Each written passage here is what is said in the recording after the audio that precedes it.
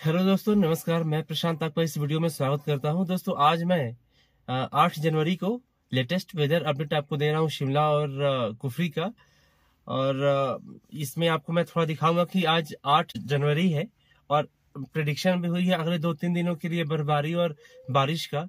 तो अभी क्या कुछ यहाँ पे दिखने में आ रहा है? अभी आज के डेट में तो वो मैं आपको दिखाऊँगा। वैसे तो सनी डे निकला हुआ है। एक दो दिन में क्या हुआ कुछ बोल नहीं सकते हैं, लेकिन कोई आसार नज़र नहीं आ रहा है स्नोफॉल वगैरह इन सब चीज़ों का। तो दोस्तों ये शिमला से जस्ट अभी निकले हैं यहाँ से।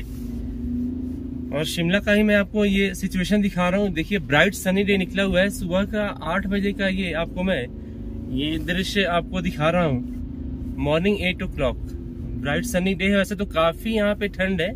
रात में टेम्परेचर माइनस थ्री जा रहा है और दिन में सिक्स तक सिक्स एट मैक्सिमम कुफरी की बात करें तो माइनस फाइव तक भी टेम्परेचर डिप हो रहा है नाइट में और दिन में पाँच डिग्री तक।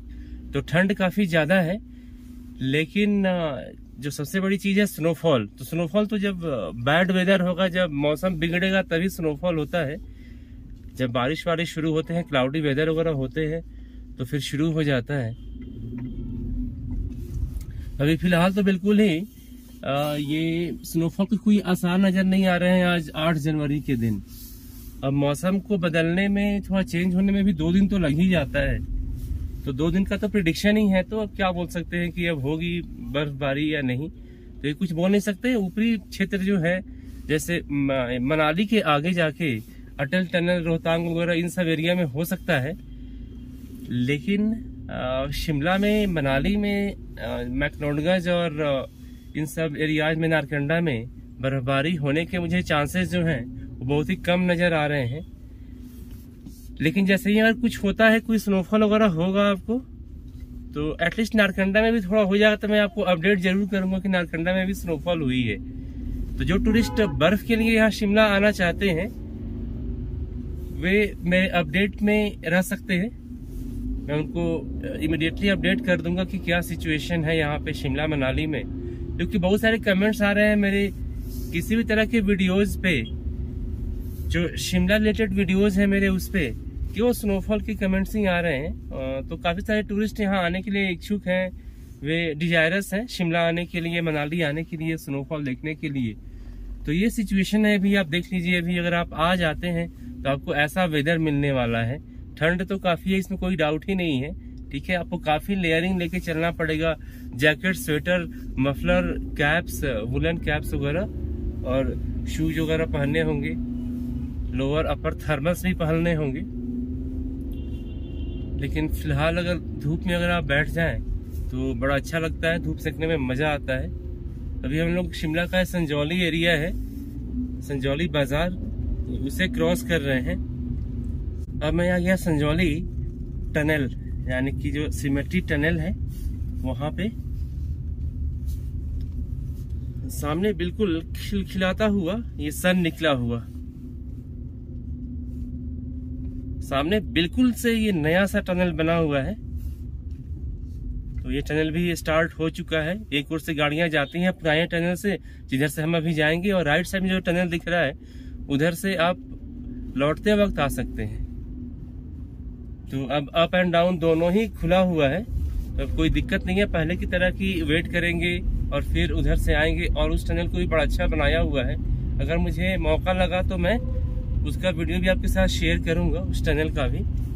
बड़ा अच्छा उसको सजाया गया है, उस टनल को। और just twenty fifth December Christmas के दिन उसका इनाग्रेशन हुआ था सीएम के द्वारा। ये टनल क्रॉस करके हम लोग आ गए ये मैजेस्टिक ग्रैंड होटल के पास, यहाँ से राइट साइड में भटक ऊपर जा सकते हैं आप। ढल, ये शोगी बाईपास के पास भी निकल जाता है। पूरा शिमला क्रॉस करते हुए रास्ता। सामने की ओर ढली मिलेगा हमें, सब्ज़ी मंडी होते हुए ढली जाएँगे, फिर वहाँ से ये कुफरी वाला रास्ता है। तो आप कुफरी भी जा सकते हैं इस रास्ते से। और इस बस से तो धुआँ ही बहुत निकल रहा है, ऐसे हिली एरियाज़ में ऐसे धुआँ वाले बस। ऐसे इनसे ना मौसम ये आ, मौसम बोल रहा हूँ मैं यहाँ का जो ए है ये सब खराब होता है। वैसे ए की बात करो तो दैट इज़ जस्ट सेवेंटी अभी शिमला का सेवेंटी है और कुफरी का थर्टी फाइव तो ये आप देख लीजिए यहाँ पे दिल्ली के आसपास का क्या यहाँ पे अभी व्यू आ रहे हैं पूरे जगह के। बर्फ़ तो है नहीं बर्फ़ के बिना ये खाली सा व्यू इस समय तो वाइट व्यू सभी देखना चाहते हैं। वाइट व्यू अभी यहाँ पे दिखने को मिल नहीं रहा है। तो ये थोड़ा सा जो है मायूसी का विषय है इस बार के लिए। काफ़ी टाइम से बर्फ़ का इंतज़ार हो रहा है और जितना इंतज़ार हो रहा है, बर्फ़ का उतना ही ये लंबा होते जा रहा है ये। अब इतनी धूप में बताइए कहाँ पे कैसे बादल जो है, ये क्लाउडी होंगे वेदर बादल आएँगे, फिर बारिश होगी, बर्फ़ होगी तो कुछ पता ही नहीं चल रहा इस बार भी कि पिछले साल की तरह कहीं इस बार भी नारद ना हो जाए बर्फ़। वैसे स्नोफॉल हो तो सबको अच्छा लगता है और क्लाइमेट के लिए एप्पल के लिए और यहाँ के लोगों के लिए और शिमला में सबसे बड़ी चीज़ है पानी के लिए भी प्रॉब्लम्स नहीं होते हैं पूरे साल में। तो अगर स्नोफॉल ना हो तो यहाँ पे पानी की भी दिक्कतें होती हैं होटल्स में और लोकल पब्लिक को। काफ़ी मुश्किल का सामना करना पड़ जाता है। तो स्नोफॉल होना मतलब ये एक मैंडेटरी चीज़ होती है प्रायोरिटी चीज़ होती है यहाँ के लोगों के लिए। यहाँ के रहन सहन के लिए एक पार्ट है, जो अब थोड़ा ब्रेक होते हुए नज़र आ रही है और पहली बार ऐसा होगा शिमला में कि लगातार दो बार से स्नोफॉल ना हुआ हो।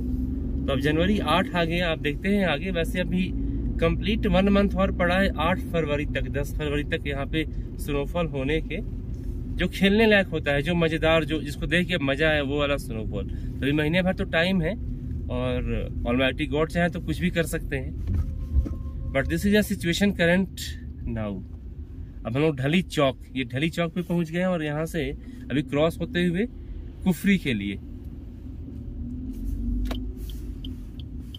यहाँ से राइट कुफरी और लेफ़्ट साइड तो ये संजौली ढली बाईपास है। तो आप इधर से लेफ़्ट से जाएँगे तो आप वापस संजौली पहुँच जाएँगे, या फिर आईजीएमसी होते हुए आप काट रोड पे आके उधर लकड़ बाज़ार जा सकते हैं। ये कुफरी वाला रास्ता है। ये आ गए हम लोग, एक साइड से राइट साइड से कुफरी जाते हैं और लेफ़्ट साइड से मशवरा जा सकते हैं। तो एक कैची मोड़ आता है। यहाँ पे जो है आप रास्ते चेंज कर सकते हैं मशोबरा जाना हो, आपको तत्ता पानी जाना हो, करसोग जाना हो तो लेफ़्ट साइड राइट साइड एक कुफरी वाला जो है, ये नारकंडा, रामपुर, इन सब जगहों पे जाना हो तो इधर से जाएँगे आप। तो देख रहे हैं मौसम आप रोड्स देख रहे हैं, बिल्कुल ही क्लियर है, कहीं कोई बर्फ़ का निशान नहीं है। सामने आसमान देखिए, बादल थोड़े भी नहीं दिख रहे हैं, बिल्कुल ब्लूइज कितने हैं इस स्काई में तो ऐसा कुछ नज़र नहीं आ रहा है। अब देखते हैं नौ और दस को कल और परसों क्या होता है।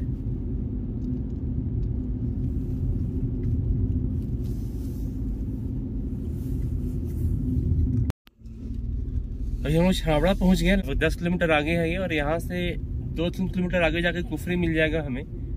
यहाँ पे इस टाइम पे सिचुएशन होती थी दोस्तों एवरी ईयर कि ये दोनों साइड में ही, ये लेफ़्ट साइड और राइट साइड में कम से कम दो तीन फुट यहाँ पे स्नो होते थे हमेशा। बर्फ़ होती थी, पड़ी हुई जो इस बार कुछ भी नहीं दिख रही है, और बीच में रास्ते होते थे, उसमें चलते थे हम लोग। तो अभी बिल्कुल क्लैरिटी है रास्तों में, कहीं कोई बर्फ़ का निशान नहीं है।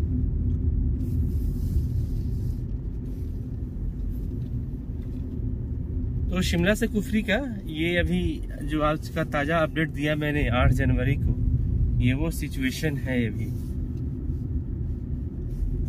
सारे देखिए सामने पेड़ वगैरह भी, ये जंगल वगैरह भी बिल्कुल व्हाइट व्हाइट से होते थे। अभी कुछ भी नहीं है ग्रीन ग्रीन सा ही दिख रहा है।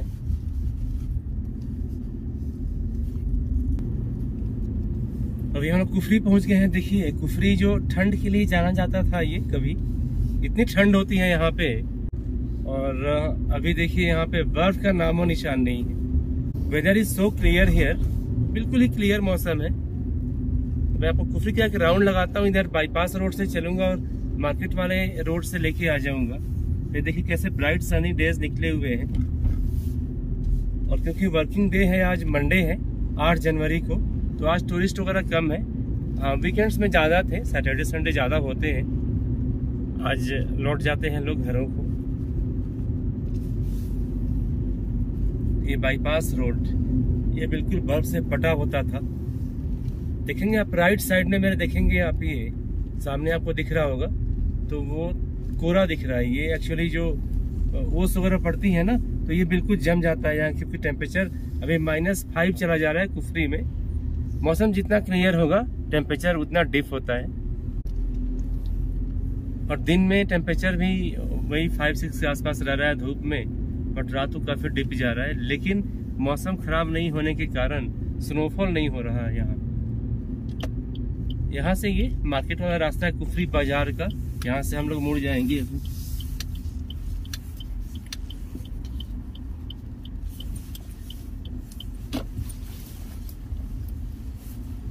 और इन सब जगह पे इस टाइम पे लाखों टूरिस्ट होते थे, घोड़े वगैरह हज़ारों होते थे। रौनकें लगी होती थी। लेकिन कुछ भी नहीं है। अभी आज के डेट पे, इस टाइम पे कुछ नहीं है यहाँ पे। देखते हैं दो तीन दिन में भगवान मेहरबान होते हैं या नहीं। लेकिन अभी आज का यह सिचुएशन है करंट सिचुएशन आज का आप ये देख सकते हैं।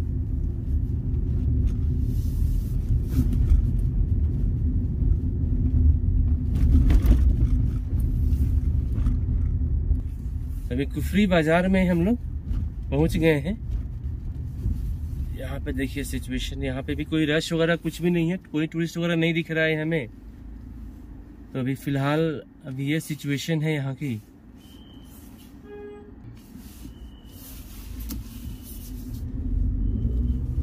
तो सुबह का साढ़े आठ हुआ है और कुफरी का डिस्टेंस शिमला से लगभग है टोटल 16 किलोमीटर। यहाँ पे देखिए बसेस भी, एक चाइल्ड वाली बस आ रही है गवर्नमेंट वाली, ऊपर की ओर। कंजेस्टेड हो रहा है दो बसेस के साथ तो ये पहले का पुराना रोड था, इसको बंद कर दिया गया था, इसीलिए बाईपास रोड बनाया गया था। तो दोस्तों, ये सिचुएशन था आज का। ये एक्चुअल में शिमला कुफरी का क्लाइमेट का वेदर का अगर देखें तो। तो स्नोफॉल का अपडेट मैंने आपको दे ही दिया, अगर कुछ होगा तो मैं आपको ज़रूर शेयर करूँगा। दोस्तों, मिलता हूँ आपसे कुछ नए अपडेट के साथ, और मेरे मथुरा वृंदावन वाले सीरीज़ भी चल रहे हैं। अभी तो जस्ट स्टार्टिंग हुआ है वहाँ का वीडियो तो वो भी बीच बीच में आपको डलता रहेगा और जैसे ही स्नोफॉल का कुछ भी होगा तो वो भी मैं आपको अपडेट करता रहूँगा। दोस्तों, मैं मिलता हूँ आपसे अगले वीडियो में। Till then take care and bye bye आप सेफली घूमते रहें और दुरुस्त रहें।